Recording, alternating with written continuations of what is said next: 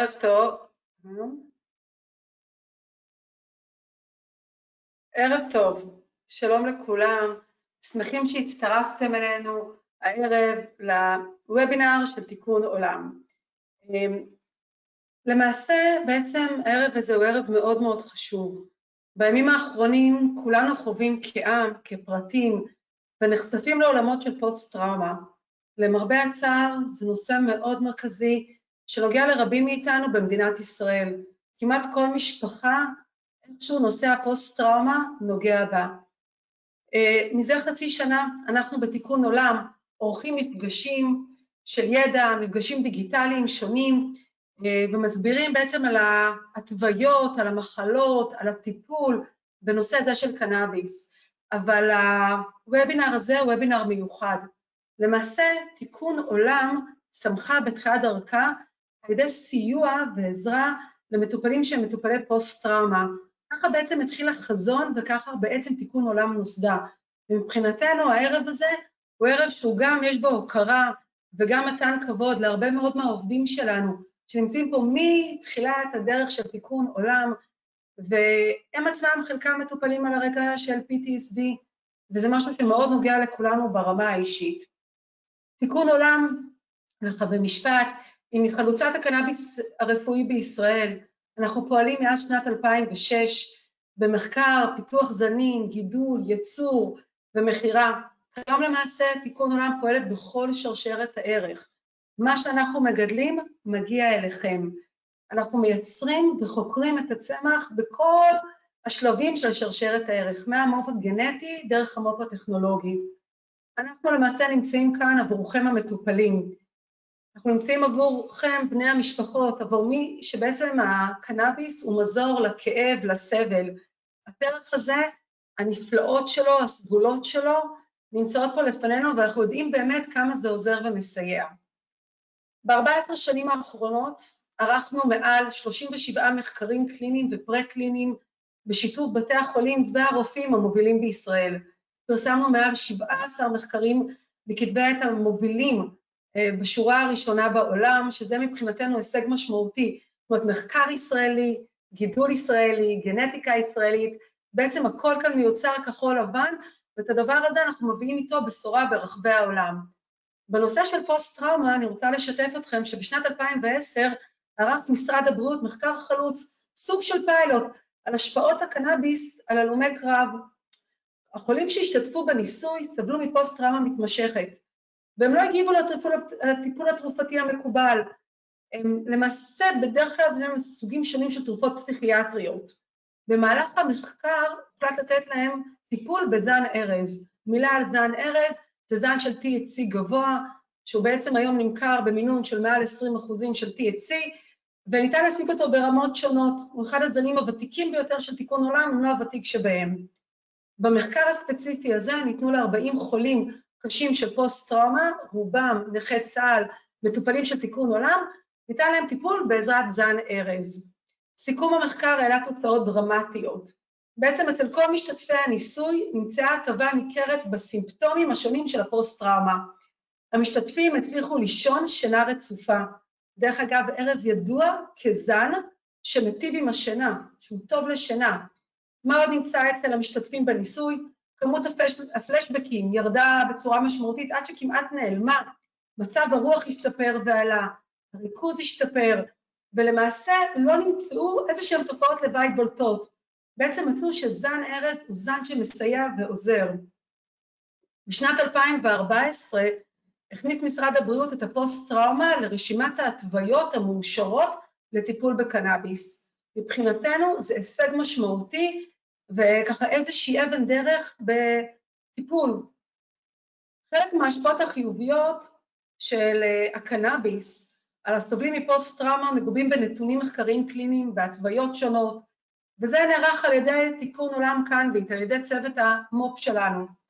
על זן ארץ, על זן ארז הראינו שהוא בעצם מסייע למעלה מ-87% מהמטופלים בתסמינים עיקריים, כמו שאמרתי, שיפור שינה, הפחתת התקפי זעם, צמצום תחושות מתח אה, נפשי וחוסר שקט.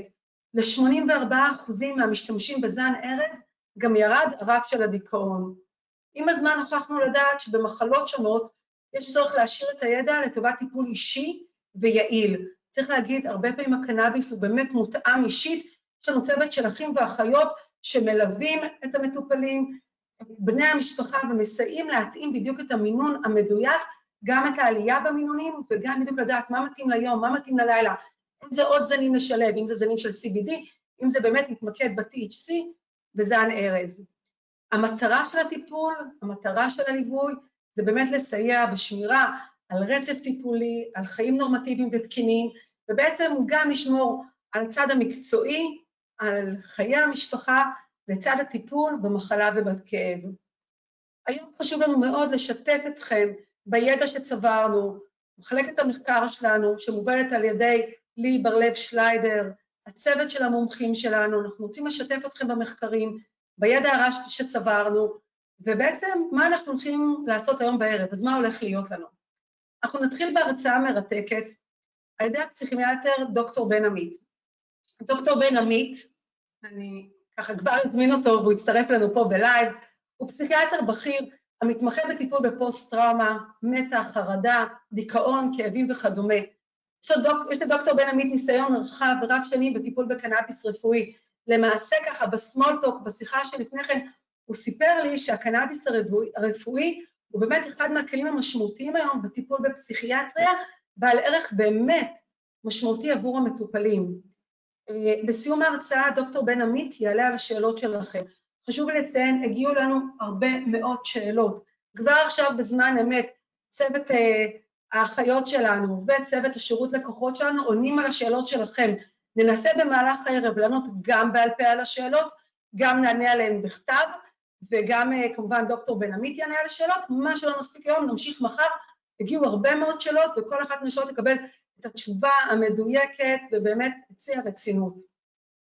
לאחר מכן אני אזמין את, את גברת לי צחובוי, שהיא אחות מוסמכת בהכשרתה, האחות הוותיקה היום בתיקון עולם, מזה שנים רבות מדריכה מלווה מטופלים בטיפול נכון ומושכל בקנאביס. בהרצאה שלי היא תיתן כלים פרקטיים ושימוש מדויק, מושכל, בקנאביס הרפואי.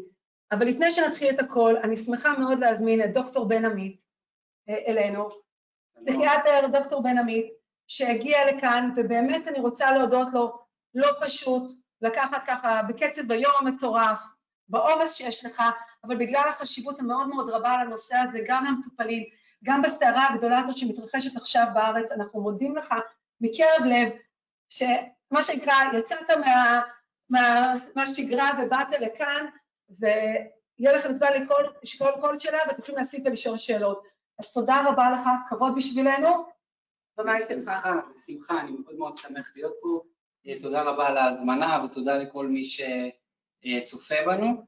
אה, אנחנו נשוחח עכשיו בין ככה 20 ל-30 דקות על, אה, על פוסט-טראומה ועל מקום של קנאביס כפי שאני רואה אותו בתוך הטיפול בפוסט-טראומה. אז אני עובד במרכז השיקומי רעות בתל אביב, שמסונף לאוניברסיטת תל אביב.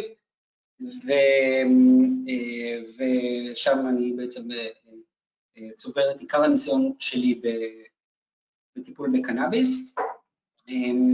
ועכשיו בואו, אז אנחנו, בואו ברשותכם אנחנו נתחיל. כן, נשתף את המצגת. רק רגע, אנחנו ב live אמיתי, אז רגע, live אמיתי. מיד אנחנו נראה את המצגת. בסדר. אז רגע, בואו נראה אם אנחנו עושים כאן. בדיוק. ואז מה עם כל אלה, איך אני יכול להגיד את כל הדברים האלה. איך אנחנו מחליפים פה עם המסך?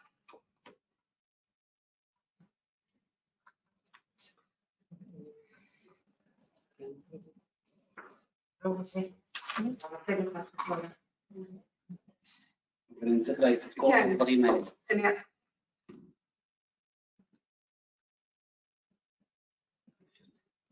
נכון.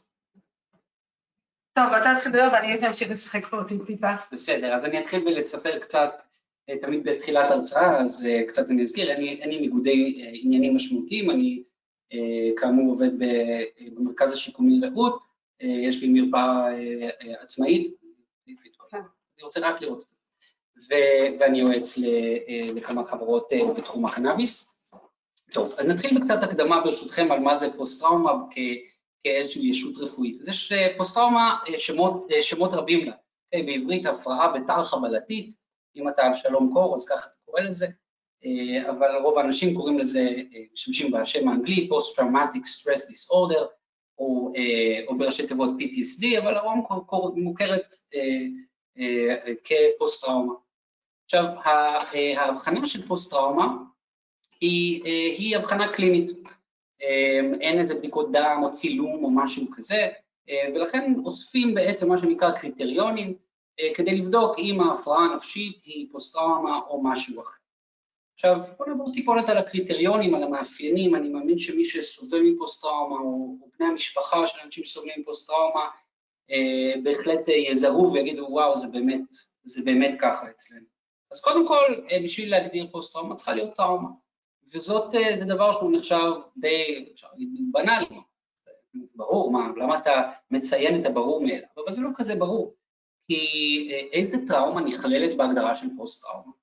אה, מגיעים אנשים עם כל מיני טראומות שהן טראומות אמיתיות. הכלב האהוב שלי נדרס. האם זה טראומה? זו ללא ספק טראומה. האם אפשר לסבול מפוסט-טראומה בעקבות זה? פוסט-טראומה שהיא רשמית ומאובחנת. מישהו פוטר, מישהו נעלב, זאת ללא ספק טראומה. מישהו גדל בתנאים מזניחים, זו טראומה.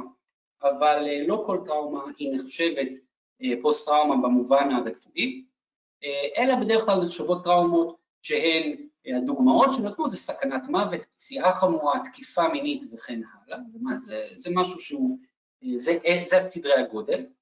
אה, כאשר הבן אדם, הקריטריון הקלאסי הוא שהאדם חווה אה, באופן ישיר את הטראומה, אוקיי?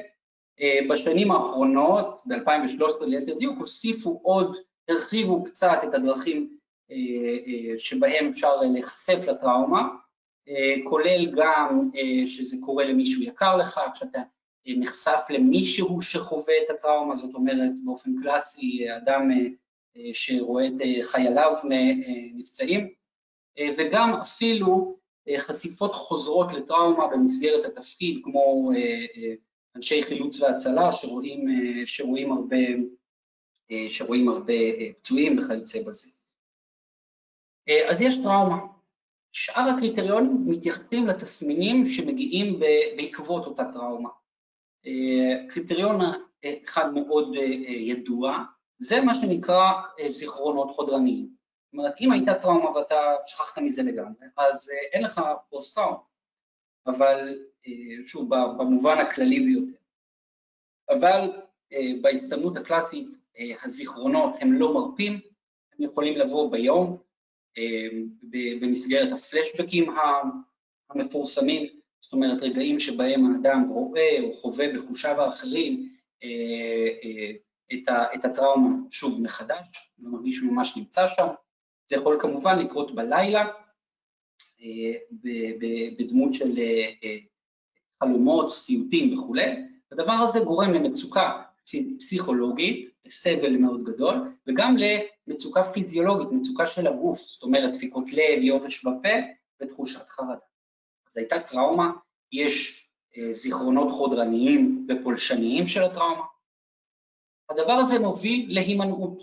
הימנעות ממה? הימנעות זה דבר מאוד כללי, אבל באופן קלאסי אפשר להגדיר שיש אה, הימנעות מנסיבות של הטראומה, או אה, ממשהו, מדברים שמזכירים או קשורים בזה.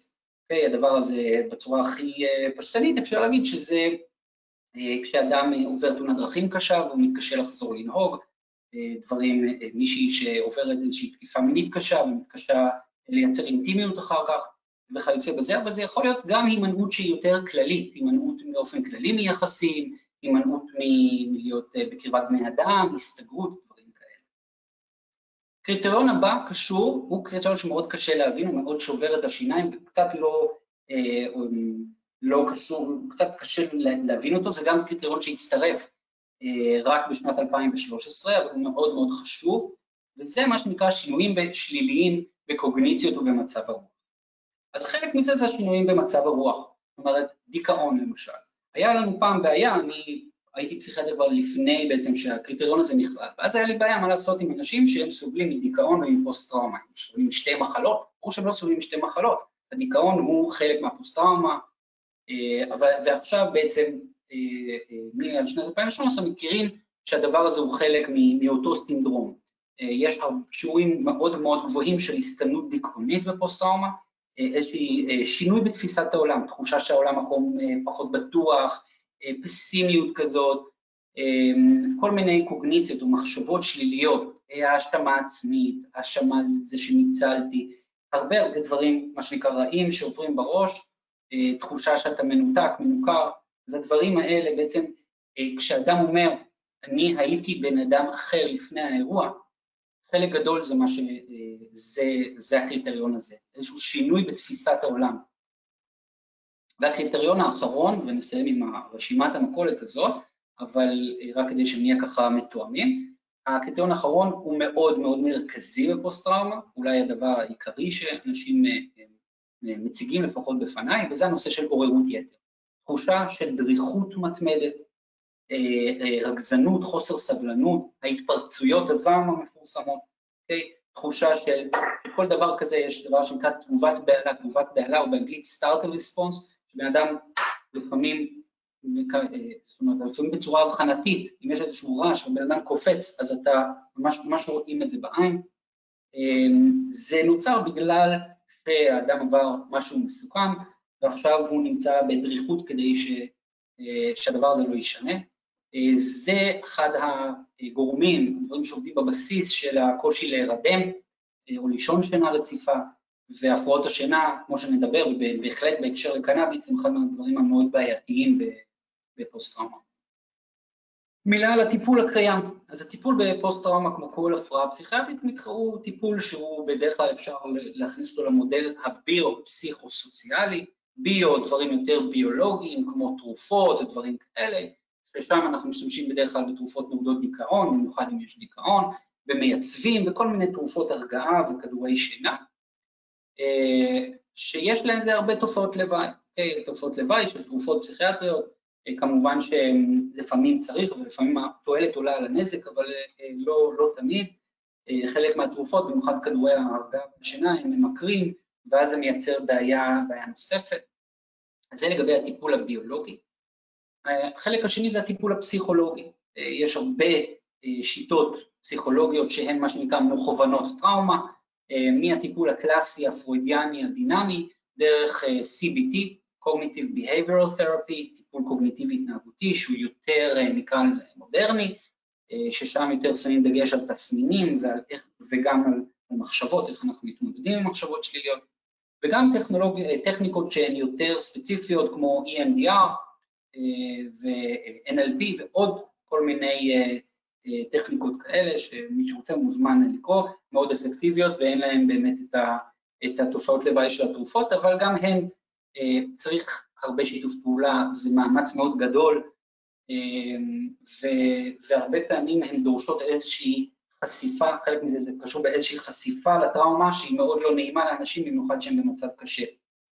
ולכן זה דבר שהוא מאוד בעייתי. וכמובן הסוציאלי, הרובד הסוציאלי, מאוד חשוב לדאוג שאנשים חלילה לא יגיעו לפת לחם, לרחוב, צריך לדאוג להם לצרכיהם, פרנסה, מגורים, תעסוקה וכולי, כי אם הבן אדם מאבד גם את זה, אז הוא מאבד אחיזה וזה יותר קשה לחזור למסלול.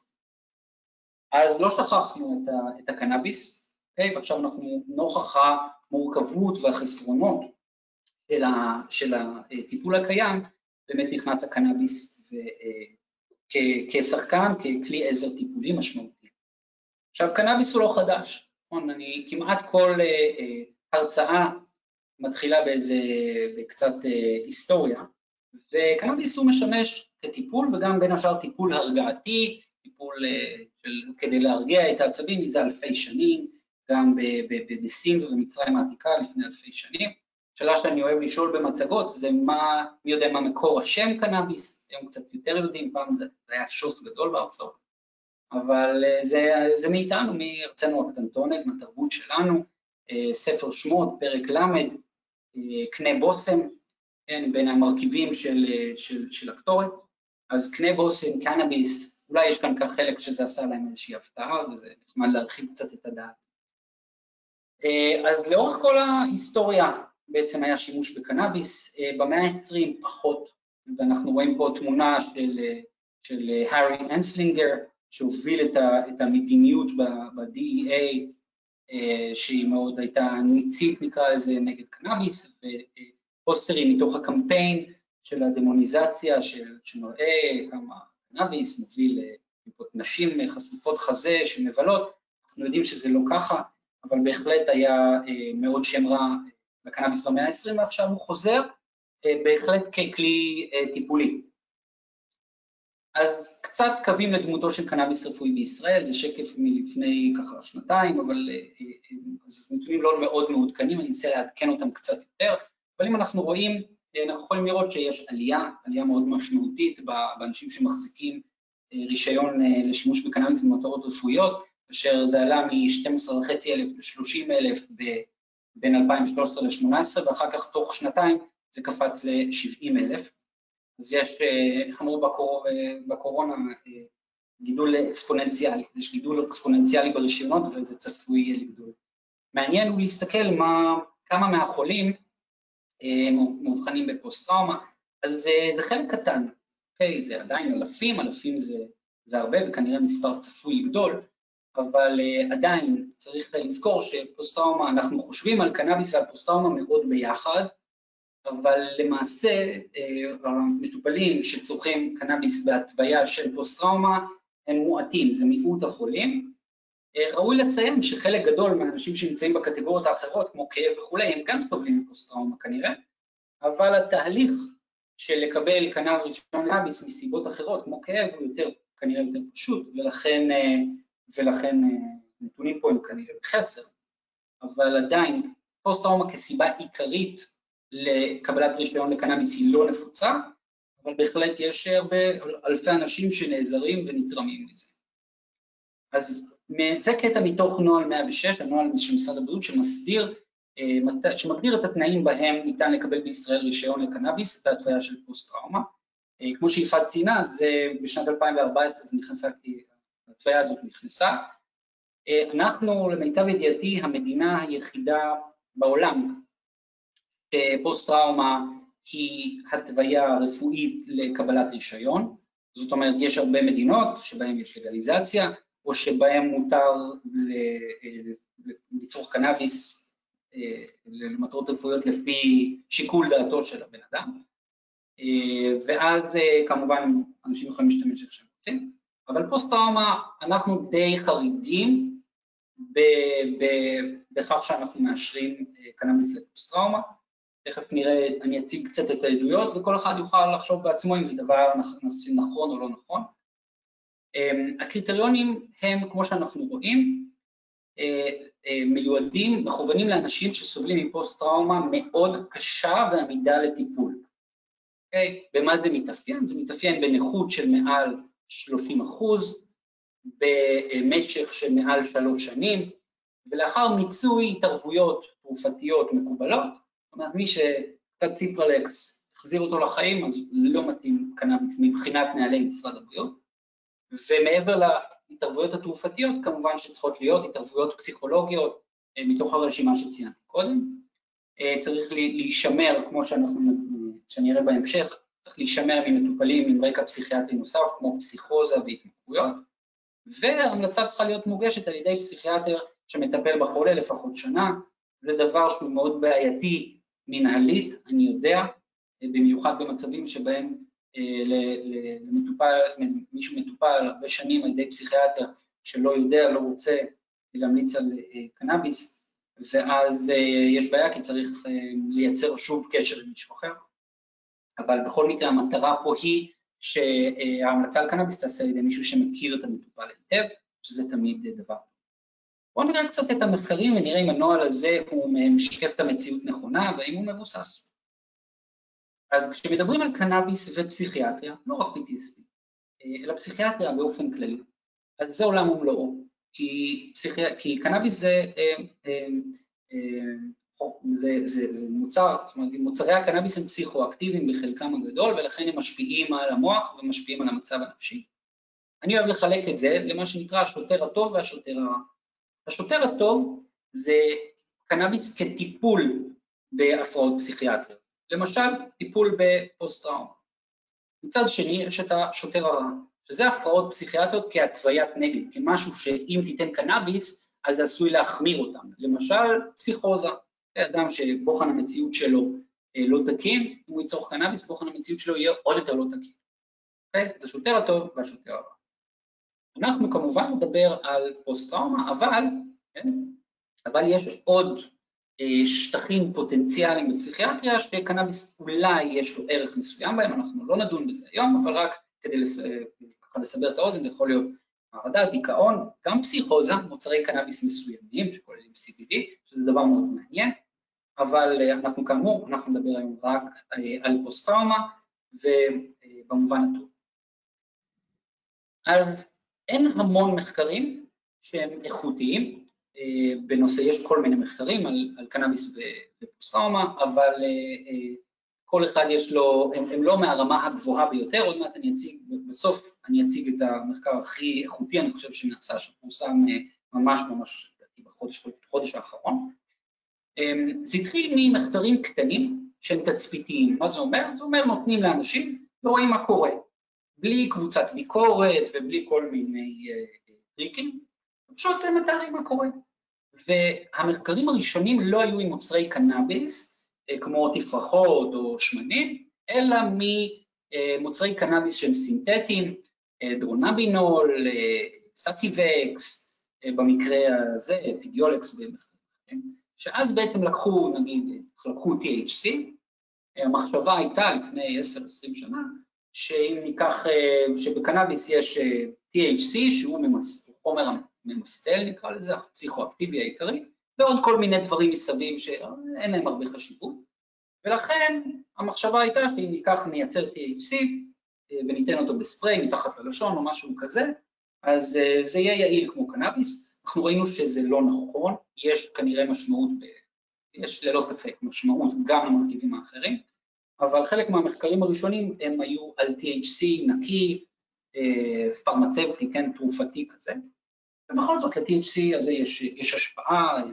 שיש לה דמיון רב לקנאביס, ואנחנו רואים בעצם פה, אם תסתכלו על המחקרים, בלי להיכנס יותר מדי לפרטים, שאנחנו רואים שבמחקרים התצפיתיים האלה, היה ערך לקנאביס במיוחד בעולמות של, של הלילה, אוקיי? אז אה, תוספת של THC לטיפול הקיים שיפרה את השינה, תוספת של THC, כן, החומר הפעיל בקנאביס, אה, הפחיתה סיוטים, ואנחנו רואים עוד פעם את השיפור בסיוטים וגם אה, איכות חיים, שהיא בין השאר משנית לשיפור בשינה, מי שישן יותר טוב, יש לו פחות סיוטים, מן הסתם איכות חייו היא טובה יותר. מחקר בגישה קצת אחרת, עם מסקנות קצת אחרות. היה סקר טלפוני מאוד גדול, קרוב ל-25 אלף אה, אנשים, אה, שמתוכם כמה מאות היה פוסט-טראומה, ושם זה היה מחקר אה, תיאורי, שאלו אותם, לא נתנו להם שום דבר, שאלו אותם, שלום, אתה סובל מכך וכך, אוקיי, יש לך פוסט-טראומה, האם אתה צורך קנאביס, מה זה עושה לך? אז מחקר כזה יש לו את החסרונות שלו, אבל שם היה ממצא לפיו שימוש בקנאביס החליש את הקשר בין, בין חומרת ה-PTSD לבין דיכאון ואובדנות. אם אני אעשה את זה פשטני, אני יכול לומר שאדם שצורך קנאביס יש לו איזשהו מוצא, אוקיי? אה, לפני שהוא חושב עליו, זאת אומרת, שהוא, שהוא, יש לו, לפני שהוא חושב על הפתרון הגרוע מכל, אז הוא יכול לעשן ג'וינט ולהירגע או לשכוח מזה, או לא ללכת למקומות הרעים האלה, לפי המחקר הזה. אה, סקירות באמת היה להם קשה להגיע למסקנות חד משמעיות בגלל שהמחקרים מאוד שונים. אה, אני אתן עכשיו קצת דעות אחרות מהספרות המחקרית. אה, מחקר חתך זה אומר שפשוט לוקחים 700 אנשים, לוחמים, עם פוסט-טראומה, בדקו מי מהם צורך קנאביס, קצת דומה למחקר שראינו בפעם הקודמת, ראינו ששם עישון קנאביס לא היה קשור בחומרת התסמינים. היו קשים עם קנאביס, קלים עם קנאביס, קלים עם קשים בלי קנאביס, לא היה שום, לא, לא, לא, לא רצו שום, שום דבר בממצא הזה. מחקר אחר עם כ-200 אנשים שסובלים הפעם מהפרעת שימוש, זאת אומרת, סובלים גם מתלות באלכוהול וכולי, שם ראו שקנאביס החליש, כמו שראינו בשקף הקודם, החליש תגובתיות לטריגר, זאת אומרת, כשהם ראו איזשהו דבר שהזכיר להם את הטראומה, אז אה, קנאביס החליש את התגובתיות הזאת שלהם, את ה... את התסמינים כתוצאה מכך. ומחקר שהוא מאוד מצוטט על ידי אנשים, על ידי אה, אנשים שמהאסכולה לא תומכים בקנאביס, באמת מחקר מאוד חשוב ומשמעותי, הוא ש... ולא קטן, עם מעל 2,000 לוחמים, שם היה קשר, קשר בין צריכת קנאביס לבין תסמינים חמורים, כולל אלימות. עכשיו, כאן חשוב מאוד לסייג, זה שיש קשר זה לא אומר סיבתיות. יכול להיות שאנשים שהמצב שלהם יותר קשה, הם אה, צריכים יותר לעשן קנאביס מאשר אנשים שהמצב שלהם קל. אנחנו לא יודעים פה מה הביצה ומה התרנגולת, אה, וכל אחד אה, רואה את זה בדרך שלו. זה באמת הבעיה, כמו שאמרתי, התחלתי ואמרתי, אה, המחקרים הם לא ממש טובים. עכשיו אני אספר קצת יותר בהרחבה על המחקר שבעיניי הוא חשוב והוא עדכני ביותר בתחום, ואחר כך נעבור הלאה ונסיים עם החלק הזה של המחקרים, שהוא החלק הכי, אני חושב, כבד. לקחו כ-80 יוצאי צבא קנדים שסובלים מפוסט-טראומה עמידה, קנדים יש להם ניסיון מלחמתי במזרח התיכון, אפגניסטן והיה הרבה ציפייה, מה שהם עשו שם, הם לקחו, נתנו שלושה שבועות קנאביס בתפרחות עד 40 גרם לחודש, עד 1 גרם נקודה 8 ליום, שזה לא מעט, ו, ונתנו לאנשים לצרוך את זה, לצרוך מוצר קנאביס, אחד או אחר, בלי שהם ידעו אם, אם הם צורכים את החזק, את החלש, אוקיי? זה היה מה שנקרא כפול סמיות, והמטופלים לא ידעו אם הם מעשנים את הקנאביס החזק, החלש, והיו בעצם ארבעה סוגים של קנאביס שנבדקו. אחד היה בו הרבה THC, החומר הממסטל, בלי CBD, החומר שאומרים שהוא מאזן קצת ומרגיע קצת. אחד היה הפוך, סוג אחר היה הפוך, היה בו רק CBD, אבל לא THC, זאת אומרת בלי החומר הממסטל. אחד היה בו את שניהם, 8% מזה ו-8% מזה, והזן הרביעי לא היה בו כלום, הוא היה כמו פלצבו, הוא היה קנאביס שהוציאו ממנו את כל החומרים הפעילים. אה, והמטופלים לא ידעו כאמור מה הם צורכים.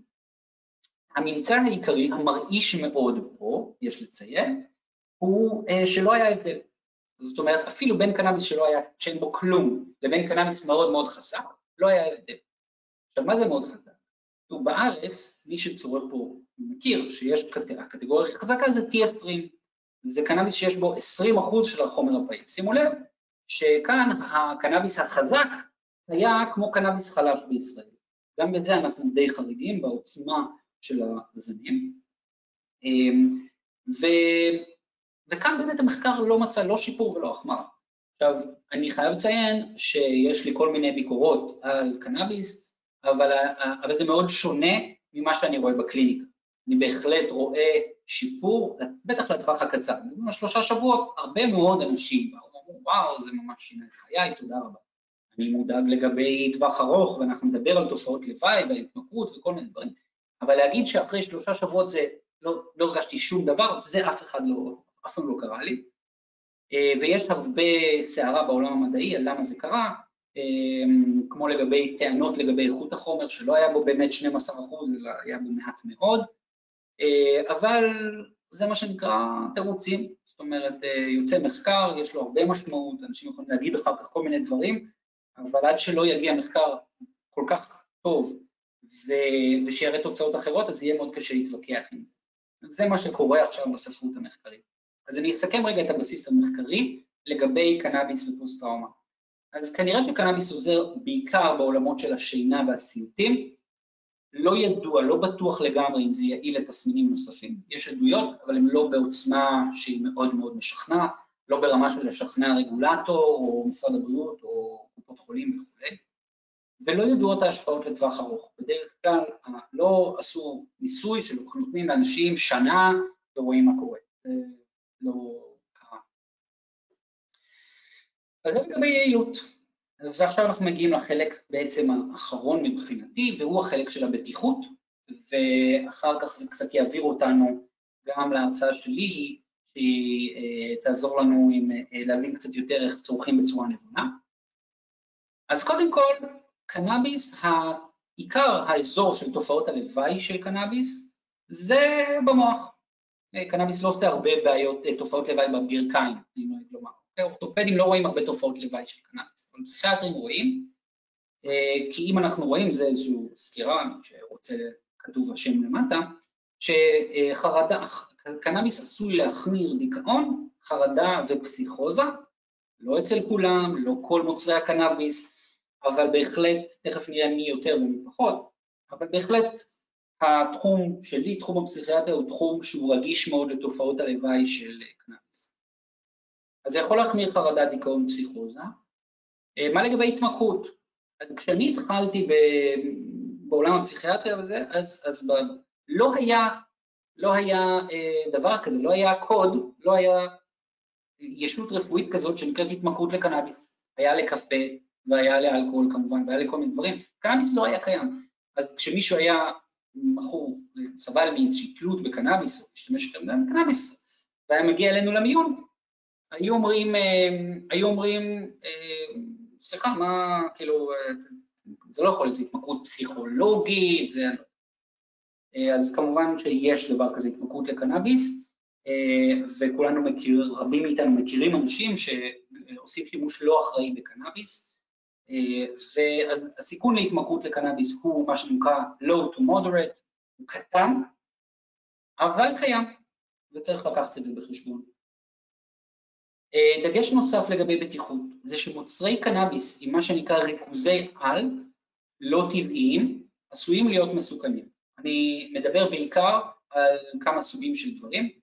דבר אחד שהוא מוצר קנאביס אחד נקרא לזה פיראטי, שהוא מאוד נפוץ בחו"ל, בארצות הברית, זה BHO, בוטיין האש אויל, זה תהליך שבו עושים מין קרמליזציה של הקנאביס, ויכול להביא אותנו אפילו ל-99% THC, ואז לוקחים מין ראש, מין ראש גפרור קטנצ'יק, פירור קטנצ'יק מהגביש הזה, ושמים אותו על פלטה ושואפים את העדים. ואם זה מזכיר למישהו קראק, אז בצדק, זה בעצם קראק מקנאביס, זה דבר מאוד מאוד, אה, אה, זה לא מתנהג כמו קנאביס של נשים, כן? זה יצור אחר לגמרי.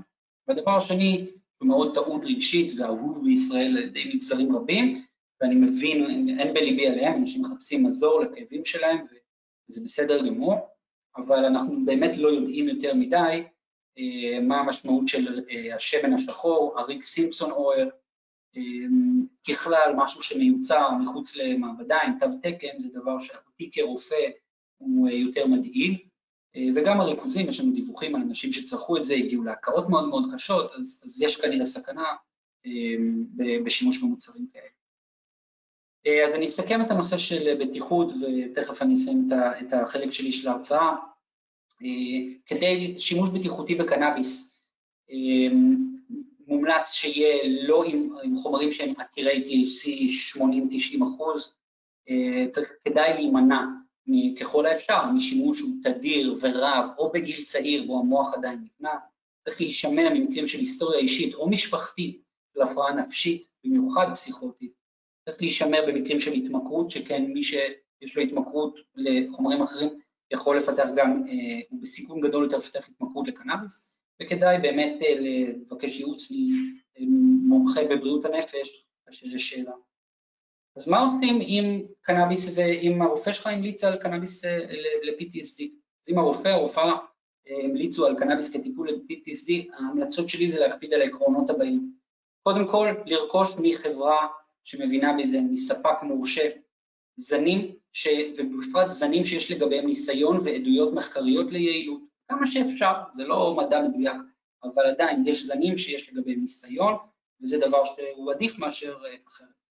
כדאי מאוד, חשוב מאוד לקבל הדרכה נכונה וליווי צמוד. יש אה, חברות שמספקות את זה יותר ופחות, אני חושב שזה דבר מאוד מאוד חשוב. אה, לצרוך, הטיפ הבא זה משהו שאני מאוד מאוד דוחף לכיוונו, ככל הניתן עדיף לצרוך קנאביס בלילה לצורך השריית שינה, גם המחקרים תומכים בזה, מי שקם בבוקר וצורך קנאביס, ייתכן והוא זקוק לזה בגלל מצבו הקשה, אבל uh, אני לא משוכנע שזה הדבר הכי הכי הכי נכון. כדאי תמיד להימנע מעישון, עדיף uh, uh, להיעזר במיצוי שמן או באידוי, וכדאי בעיקרון להתחיל נמוך עם THC הממסטל מה שנקרא, ועם יותר CBD, ולהעלות את ה-THC לאט ולפי הצורך בלבד. תודה רבה.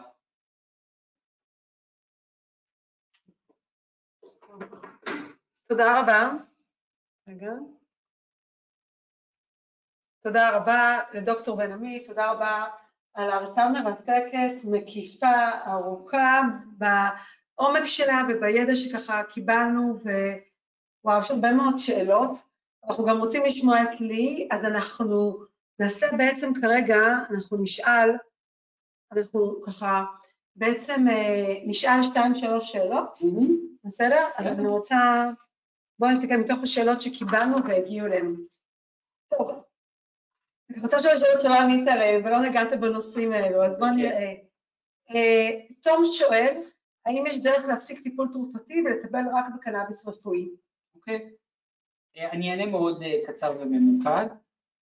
הרבה פעמים התוצאה של שימוש בקנאביס זה הפחתה בתרופות, במיוחד בתרופות שעושות מה שהקנאביס בא לעשות, כמו למשל תרופות שינה.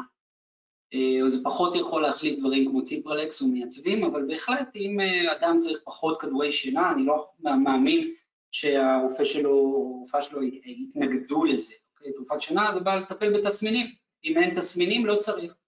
אה, אבל מאוד מאוד חשוב להתייעץ עם הרופא ושהכול יהיה בהסכמה ובידיעה.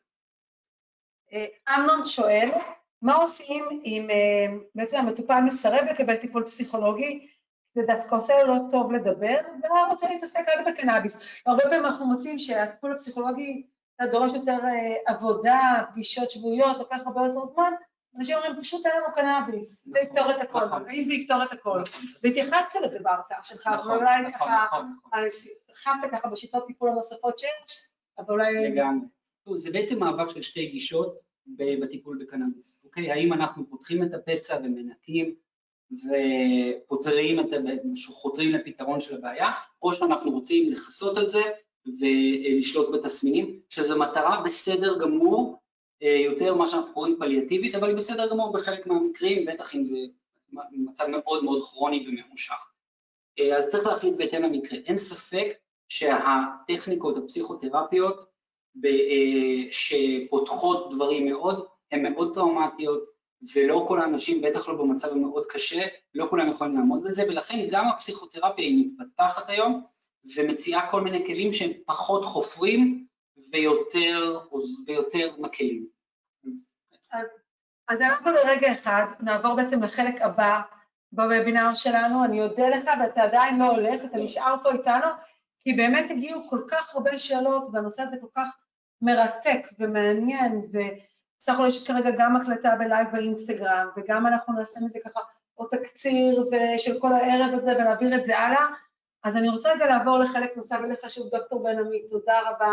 Uh, תוך כדי זה ראיתי שאנשים שואלים, איזה, מי, אם אנחנו מכירים פסיכיאטר, יש פה פסיכיאטר בכיר שמתמחה בתחום של קנאביס רפואי, באמת היה מרתק ומעניין, תודה רבה לעת עתה, תכף נמשיך.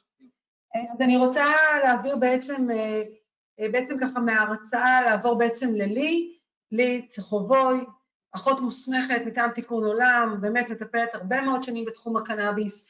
היא תיתן לנו ממש פרקטיקה, ידע, דיוק, תכניס אותנו לעולמות הטיפול, ונגיד שבאמת מה שחשוב לנו בתיקון עולם זה לא רק שתיקחו את הקנאביס, אלא שתבינו איך לקחת אותו, באיזה מינונים, באיזה דרך, מה ליום, מה ללילה. הזכרנו את השמות של הזנים, דיברנו על ארז ללילה, אה, לי ככה תדייק לכם, אז אני שמחה להעביר לך אה, את הבמה, ותודה רבה לך שאת איתנו היום בערב. תודה, יפעת. אני רק רוצה אה, להגיד, לי, לי רק עוד דבר אחד בבקשה, שאני רוצה להגיד שהשידור ממשיך בלייב באינסטגרם, אה, דרך, וימצאו בעצם את השידור בביו באינסטגרם. תודה רבה, אנחנו ממשיכים. תודה יפעת ותודה בן, הייתה הרצאה ממש ממש מרתקת. אני תמיד מאוד מתרגשת uh, להצטרף לוובינרים, ובמיוחד בנושא הזה שנוגע כמו לכל המדינה, גם, uh, גם לי באופן אישי. Uh, אני אדבר הערב קצת על, על השימוש הפרקטי בטיפול בקנאביס רפואי. ונתחיל ב, בעצם בתיאום ציפיות. אז uh, קנאביס רפואי uh, מאוד מאוד חשוב לעשות uh, התאמת טיפול לפי הציפיות והצרכים של כל מטופל ומטופל. בעצם יש הרבה אנשים שסובלים מאותו סינדרום, מאותה תסמונת, מהפוסט-טראומה, אבל לא לכל אחד יש את אותו צורך. אדם אחד סובל מפוסט-טראומה וזה מקשה עליו לישון, כמו שבן אמר, בעצם על כולם זה מקשה לישון, אבל אדם אחד יצפה מהטיפול שזה יעזור לו בשינה, אדם אחר ירצה לצאת בבוקר לעבודה כשהוא לא מסוגל לצאת לעבודה,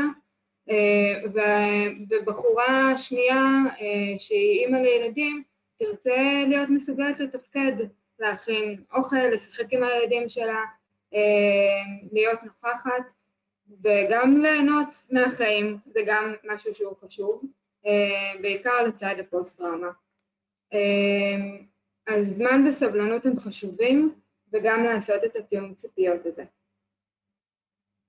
התאמת הטיפול, אני אגע ממש בשתי נקודות.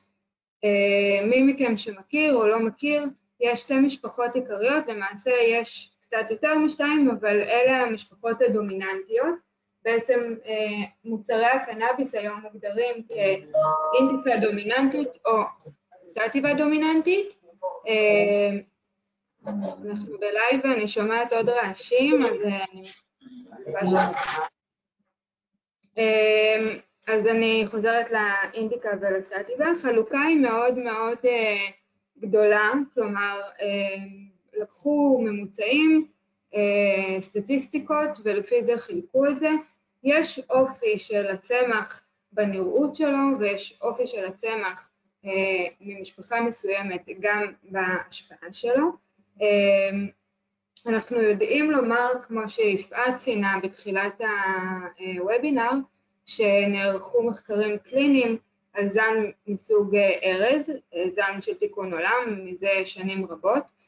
זן ארז הוא באמת זן מסוג אינדיקה, כשאינדיקה הוא זן שהוא מרגיע, הוא מפחית חרדה, הוא מתאים לשימוש בלילה ובשעות המנוחה.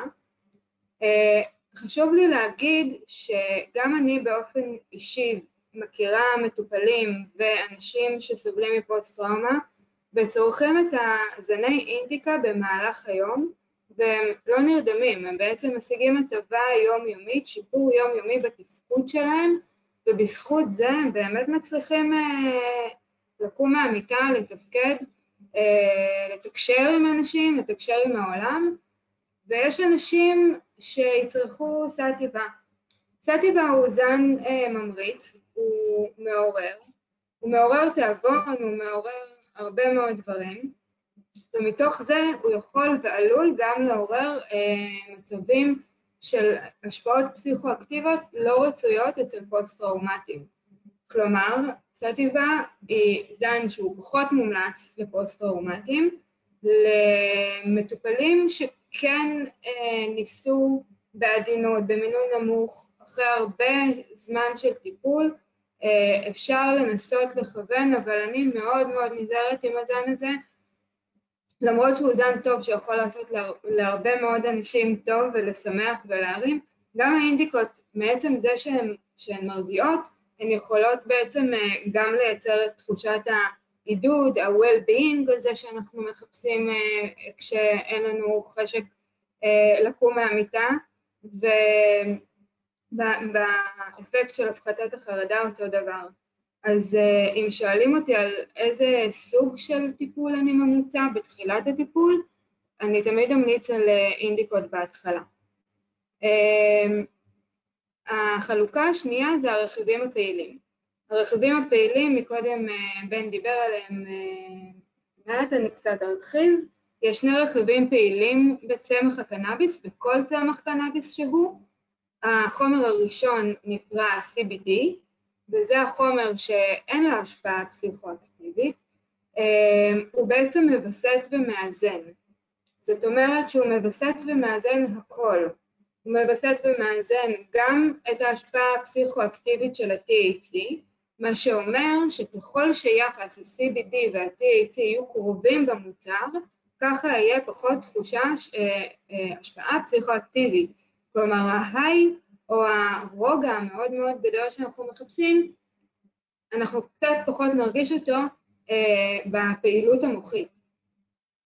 CBD הוא מוצר מדהים שהוא מלבד זה שהוא מאזן ומווסת, הוא גם יודע לשכך כאבים, הוא אנטי-אוקסידנטי מאוד טוב, הוא נוגד דלקת מאוד טוב, הוא מעודד את מערכת החיסון. CBD, יש זנים שהם עשירים ב-CBD ויש זנים שהם עשירים ב-THC. לדוגמה, זן עשיר ב-CBD שמאוד מאוד מוכר לנו זה זן מסוג אבידקל, שאנחנו נותנים את הטיפול בו, הוא זן בטיחותי, הוא המחקר ביותר בעולם, זוכה פרסים עתירים בכל רחבי העולם.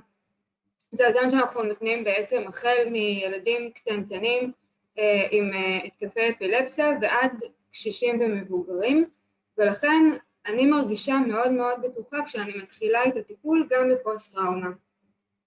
עליו אנחנו נרצה להוסיף THC, כי בפוסט-טראומה מוטב לשכוח, או יותר נכון לומר שלא תמיד צריך לזכור הכל, ולכן זה ממש בסדר לתת THC בעדינות, במינונים נמוכים, בהתחלה הדרגתית, בזהירות ובליווי צמוד שהוא סופר קריטי במיוחד במקרים האלו, כי הרבה פעמים אדם שנמצא תחת השפעה פסיכואקטיבית גבוהה לא מודע לזה בעצמו, ואם הוא נמצא בליווי של רופא כמו בן עמית או אחיות כמו אצלנו בקליניקה בטיפול עולם, הוא יוכל בעצם להגיע לתפקוד. זו המטרה שלנו, המטרה שלנו בטיפול בקנאביס היא להגיע לתפקוד ולא למסטל או לשתק את המטופלים שלנו ובעצם להפוך אותם לזומבים, ממש ממש להפך, בעזרת השילוב של ה-CBD וה-THC, בעזרת הטיפול בזן ארץ כמו שהופיע במחקרים, אנחנו ראינו באמת שיפור מאוד מאוד מאוד גדול בתפקוד היומיומי של המטופלים שלנו וגם כמובן שבשינה.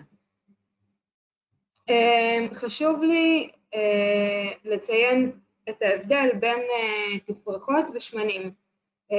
ההבדל העיקרי בין תפרחות לשמנים בעצם מגיע בשני, בשני הדברים, גם בזמן תחילת ההשפעה וגם במשך ההשפעה, וככה למעשה אתם המטופלים יכולים לתכנן מתי לקחת מה ובאיזה צורה.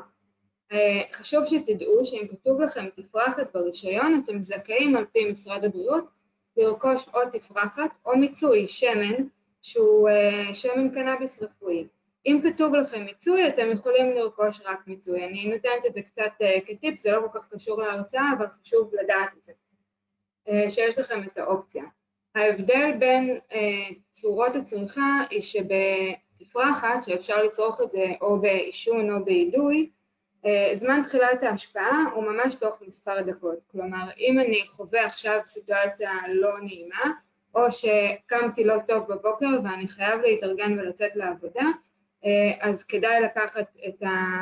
אני יכולה להמליץ על אידוי באופן אישי, קצת קשה לי להמליץ לעשן, בגלל נזקי העישון. אני אמליץ למטופל שלי להשתמש במכשיר האידוי, ופורייזר, כשהוא אחרי ארוחה קלה שהוא אכל בבוקר, וממש תוך מספר דקות אני אצפה שהוא יחווה איזושהי הטבה, שיכולה להימשך עד שעתיים. לעומת זאת המיצוי, שמן הקנאביס זה מיצוי של התפרחות בתוך שמן זית, כשזמן תחילת ההשפעה הוא ארוך, הוא בין 45 דקות לשעה וחצי, ופה חשוב לי שתשימו לב. הרבה פעמים אני שומעת מטופלים בתחילת דרכם, לקחו טיפה אחת או שתי טיפות של הקנאביס, עברה חצי שעה והם כבר ממש בלחץ שהם חייבים אה, לתפקד או מאוד רוצים לישון, ולא הייתה השפעה, ואחרי חצי שעה הם לקחו עוד שתי טיפות. ומה שקרה אחרי שעה וחצי זה שהם היו אה, עם השפעה פסיכואקטיבית חזקה מדי, או שהם חוו איזושהי תופעת לוואי לא נעימה. ואז לא רוצים יותר לגעת בקנאביס, וזה מאוד מאוד חבל, צריך, אני חוזרת קצת להתחלה, זמן וסבלנות.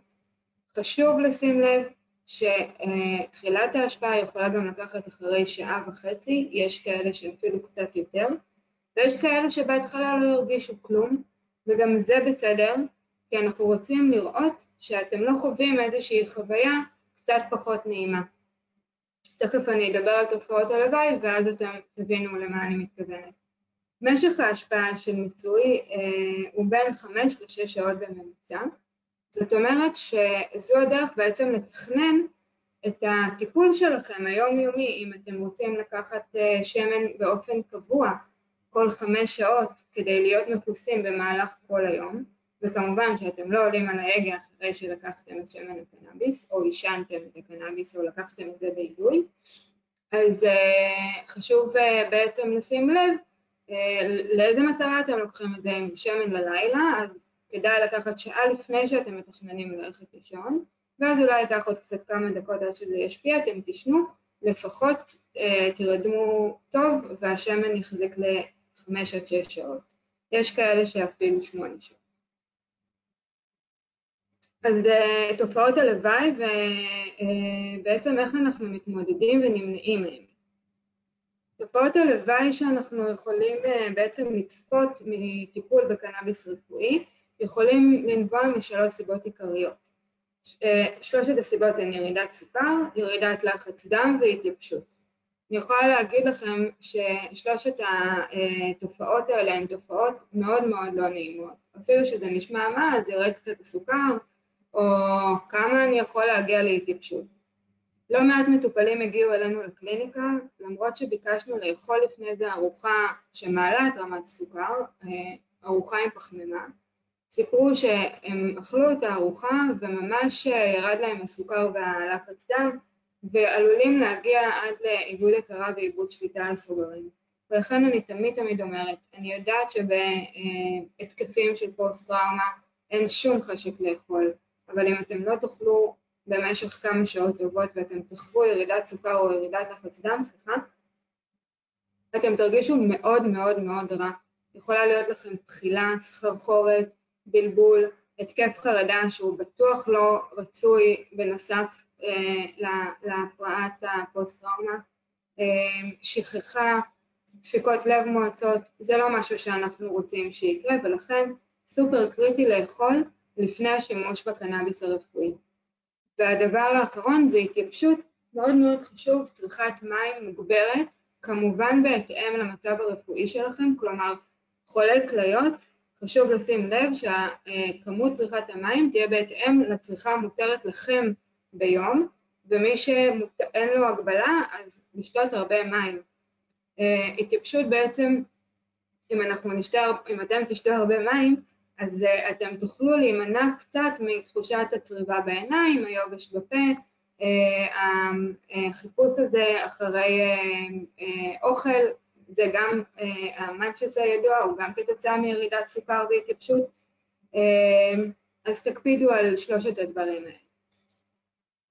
Uh, וכמה טיפים ממש קטנים ממני לפני שאני אסיים. הטיפ הראשון, התופעה נלווית לטיפול בקנאביס רפואי, סליחה, היא פגיעה בזיכרון לטווח הקצר, כלומר הלכתי למטבח ושכחתי מה רציתי לקחת. לא חורים בזיכרון ממש בלקאוטים, כזה שזה ממש על קצה הלשון. אז תסתובבו לכם עם פנקס או טלפון, ואם אתם לפני קניות או איזה שהן מטלות שיש בהן הרבה פרטים, טייק נוטס, תיקחו לכם uh, ככה רשימות וזה יעזור לכם. Uh, אכלת פלפל שתי מיץ, אם אתם חווים איזושהי תופעת לוואי קשה, uh, השפעה פסיכואקטיבית קשה מדי, שהיא כבדה עליכם, שזה לא מה שאתם רציתם להגיע אליו, תדאגו שיהיה לכם תמיד משהו עם ויטמין C, עתיר ויטמין C בבית או איפה שאתם uh, uh, נמצאים, או אפילו ממש תמצית של ויטמין C, יש את זה בכל מיני אופנים. Uh, ואז זה בעצם תוכלו להיעזר בזה, ויטמין C עוזר להפחית את ההשפעה הפסיכואקטיבית. וגם תספרו למי שנמצא איתכם, שאם הוא רואה עליכם משהו קצת אה, פחות שגרתי, אז שיביא לכם קצת מיץ תפוזים כדי להרגיע את ההשפעה הפסיכואקטיבית. אה, ופלפל, למה פלפל?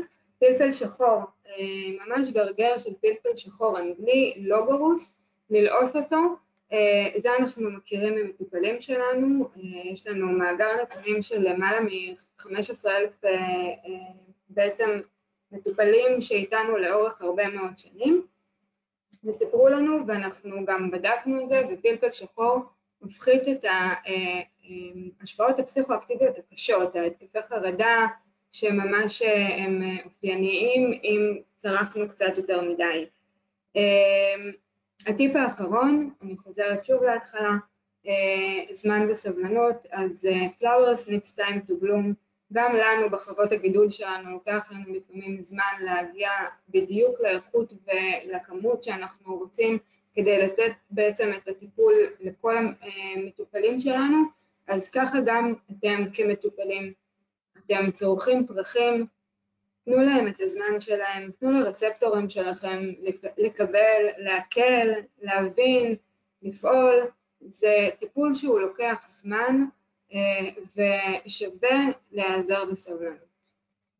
אמ, זהו, כתבתי לכם כאן את מספר הטלפון של שירות הלקוחות שלנו, כוכבי 9277.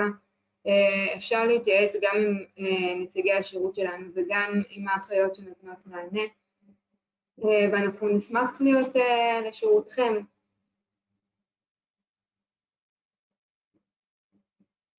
לי? כן. תודה רבה. לי, תודה רבה לך. מרתק, מעניין. אה, ענייני, מדויק, חשוב. ממש תודה רבה לך על ההסבר, על הסבלנות, על ההשקעה. אני חושבת שזה בדיוק גם היחס שמקבלים המטופלים שמתקשרים אל השירות לקוחות שלנו, אל המוקד החיות, ומקבלים בעצם את ההסבר, ובאמת פה זה פרטני, מדויק, כל אחד ומה שבדיוק מתאים לצורך שלו. אז שוב המון תודה. אני, היו הרבה מאוד שאלות, אה, אנחנו, כמו מה שאמרתי, עונים על השאלות גם עכשיו בזמן אמת, הרבה מכם קיבלו תשובות לשאלות שלהם, ואנחנו נמשיך ונענה גם מחר.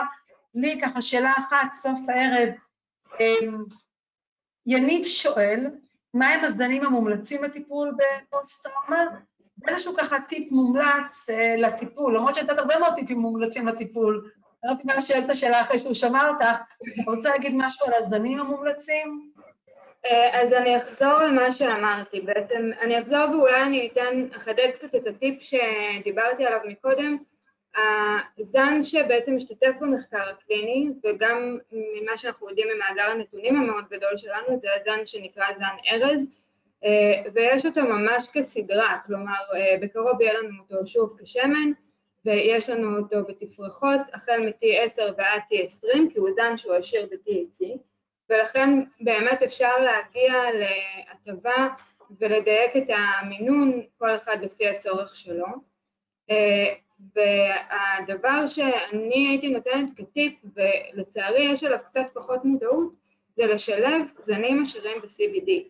גם בעישון אפשר לשלב את זה או באידוי, כלומר כתפרחת, וגם אה, בשמן, מאוד מאוד נכון לקחת שמן מסוג אבידקה לדוגמה אצלנו, או כל זן שהוא עשיר ב-CBD, לי מאוד אה, מרגיש תמיד בנוח עם אבידקל בגלל המחקרים הקליניים הרבים שהוא השתתף בהם.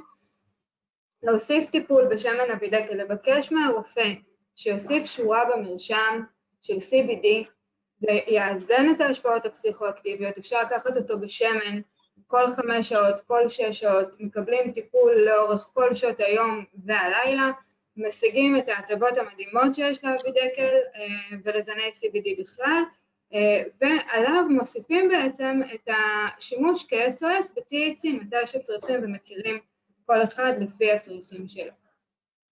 תודה רבה, אז בעצם את אומרת שילוב של בין נגיד THC, זן ארז עם זן CBD, ריץ' CBD אבידקל, או אם מישהו רוצה נגיד את זן ארז ללילה ורוצה להישאר ב-THC, יכול גם לקחת אלסקה ליום, ארז ללילה, אבידקל ה-CBD, באמת אני חושבת שבמנעד של הזנים שלנו, שהם זנים שכולם בעצם מוכחים עם התוויות שמבוססות על מחקרים קליניים, כמו שאמרנו בתחילת ההרצאה, עם בתי חולים ורופאים ישראלים, וזה ככה הדיוק שלנו של תיקון עולם, אז זה בעצם איזשהו שילוב, ואני אגיד שוב, אפשר לפנות למוקד שירות לקוחות שלנו, כוכבי 9277, אפשר לפנות אלינו בצ'אט, בפייסבוק, באינסטגרם, באתר, בכל דרך אפשרית, זה גם למטופלים, גם לבני המשפחות שלהם, שלכם, ובאמת להגיד לכם, אמ, אנחנו פה בשבילכם, לעזור, להקל, לסייע, מאז ועד היום תיקון עולם עם הזנים המוכרים והידועים ובכל שרשרת הערך. אני רוצה לומר שוב תודה רבה לי צחובוי, האחות שלנו, אני רוצה להגיד תודה רבה לדוקטור בן עמית, פסיכיאטר בכיר שמתמחה בנושא של פוסט-טראומה. שוב, תודה רבה, בואו לכאן, רק נגיד לך תודה רבה לדוקטור בן עמית שהיה איתנו כל הערב, באמת ענה פה על הרבה מאוד שאלות, נתן הסבר מאוד מדויק, אז תודה רבה לכם, ואנחנו פה בשירות לקוחות בשבילכם. מילה לסיכום, אתה רוצה להגיד מילה אחת, משהו, safe, תישארו בטוחים, בטיחות לפני הכל, ולבנות דברים בהדרגה, צעד צעד. תודה רבה. לילה טוב לכם, לילה טוב לכולם, ביי ביי. ועד שלנו פה תודה גם לכל הצוות שנמצא איתנו ועבד וענה. להתראות, לילה טוב לכם. ביי.